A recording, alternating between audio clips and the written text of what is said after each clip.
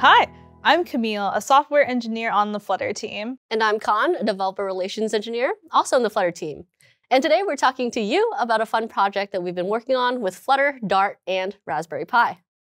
If you're not already familiar, this is a Raspberry Pi. I'm sorry if you were expecting a more delicious kind of Raspberry Pi. It's a single board computer that was released in 2012 to teach kids computer science. It's grown in popularity since then, and it's now used in a variety of fields for various use cases because it's just so cost effective. A Pi can range from 5 to $75, and you can run all kinds of things on it because, well, it's a computer. I caught the Pi bug myself a few years ago.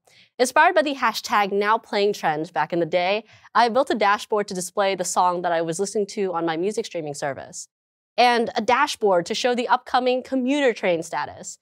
And since the Pi can be hooked up to all kinds of gadgets and gizmos like sensors and buttons, I also built a disc drop game with a digital UI. You drop a little puck, it'd fall down, hit a bunch of pegs along the way, and trigger one of the sensors that was installed in a slot down below. The UI would update to show whatever prize the player had won. You could say I've been really into building my side projects on Raspberry Pis for a while now. Every time I build a new project, a little voice in my head likes to ask, can I run this on a Pi? Fast forward to last summer when a teammate and I built a game in Flutter. Doodle Dash, as we like to call it, is a platformer game where players try to jump as high as possible and rack up points. There's power-ups, enemies, the whole nine yards. The game is built with Flame, an open source game engine that's been built on top of Flutter. It was a lot of fun, and that voice in the back of my head popped up again. We started wondering, can we build a game console experience with Dart, Flutter, and Raspberry Pi? With some code, a Raspberry Pi, a screwdriver, and a little Pi accessory called a game hat. Turns out we can. Before we jump into how we brought this dream project to life, here were our three big project requirements. First, we wanted a gamepad. This was a requirement because, at least to me, a game console experience requires a gamepad. Second, there are gamepads that plug in via USB, but since we have access to the Pi's GPIO pins, we wanted to use them. Personally, my favorite Pi projects have always included working with GPIO pins for input or output, sometimes both. As much as I love writing code, having the hands-on aspect of putting the pieces together is always a ton of fun. If you're not familiar with GPIO pins, don't worry, we'll cover this topic in more detail in just a few moments. And finally, we wanted as much of our code to be as reusable and extensible as possible. Given how community-driven both the Flutter and Pi communities are, we want to share our work with everyone.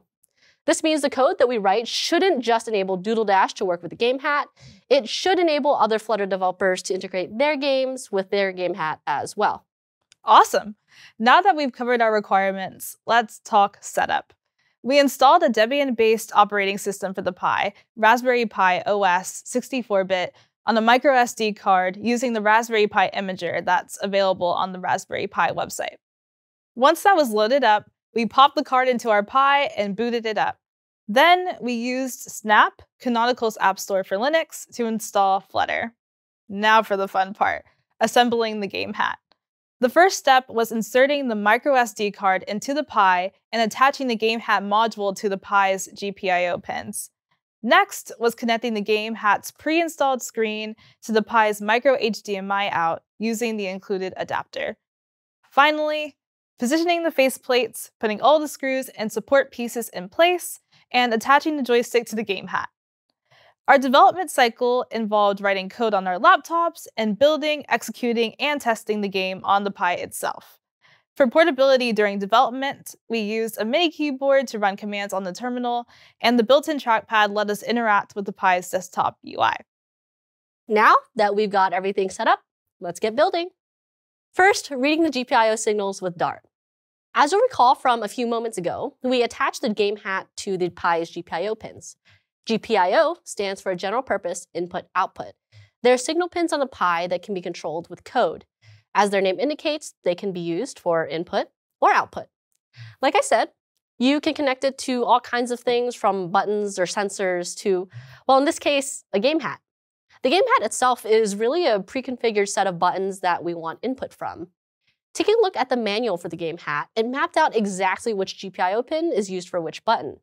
We made this more manageable in code by creating an enum to represent the game hatch GPIO input. Each enum has a pin with a game control event. We then use the rpi GPIO package from pub.dev to get the input values from the pins. We create a new class called GamePad to represent, well, a gamepad. On initialization, the code loops through the list of GameHat GPIO enums, initializes each pin, and starts listening for input. The code listens for a change in pin state from true to false or false to true. A value of false means that it's been pressed, and a value of true means that the button has been released. The game will listen to the event stream for new gamepad input. So when there's a change in a pin state, a new game input gets added to the event's stream controller. Now, let's talk about a small detail that we glossed over before turning the signals into game input.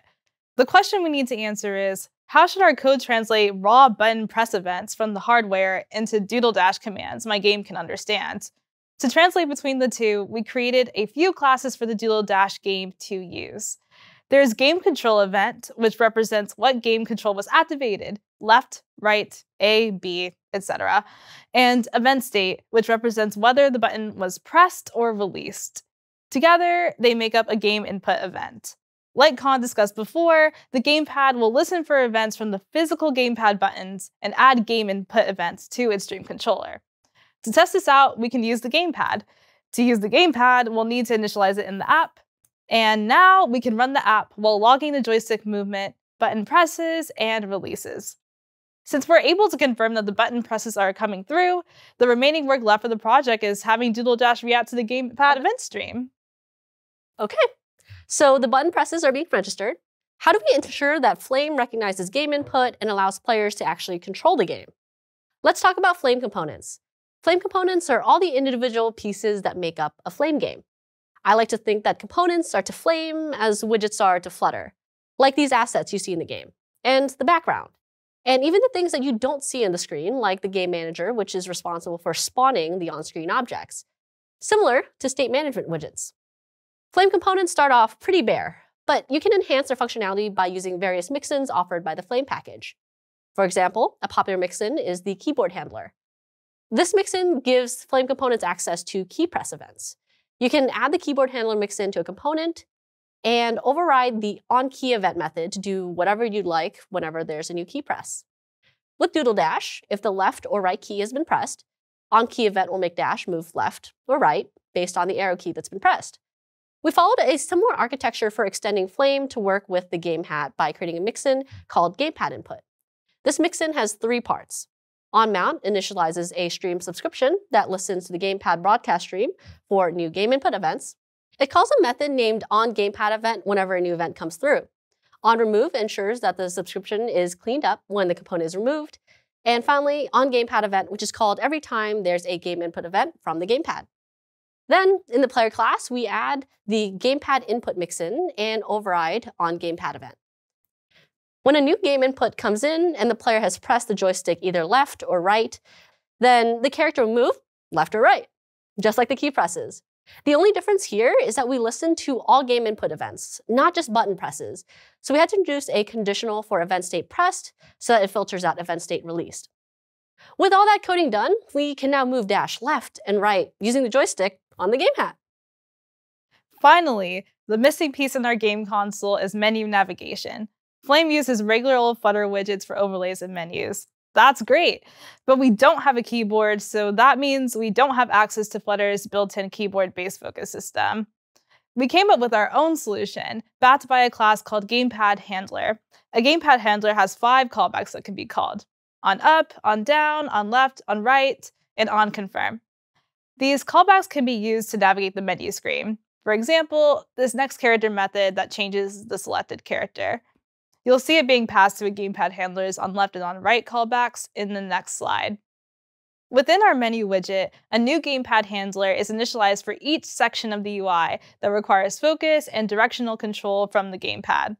Upon game initialization, the character selector gamepad handler is active, on left and on right calls the next character method to change the selected character, while on down changes the active selector to the next section that wants focus, the difficulty selector gamepad handler below it.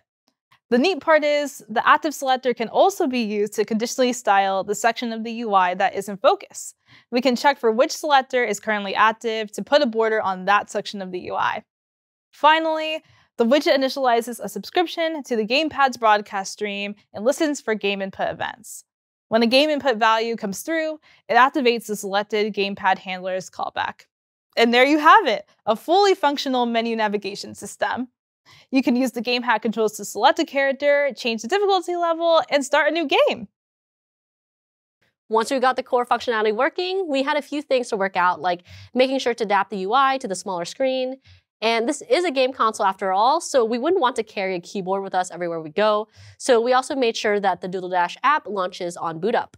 And finally, for the finishing touch, we also added a 3D printed case. How cool is that? So cool! And there you have it, a Flutter, Dart, and Raspberry Pi game console. This project might be a prototype, but it's sure to show so much potential for Flutter and Dart on Raspberry Pi. For sure. Camille, this was such a fun project to work on. I mean, I truly felt like I was five years old again, getting my very first game console. It also makes me very excited looking forward to what's coming for Flutter and Linux in the future. In fact, the new Ubuntu 23.04 desktop installer is built with Flutter, so that's pretty cool. I also want to say getting to work with the open source community throughout this project has been such a great experience. Plus, they're always doing awesome things like this. I mean, I've seen a Flame game running on a smartwatch. So that's all to say, I'm so excited to see what the Flutter community continues to build. Completely agreed. But wait, Khanh, do we have the source code to share with everyone? Good question. You'll notice that this code was made to be very modular, given our goal to make it reusable and extensible. We'd love to see you use it with your own Flutter and Flame games.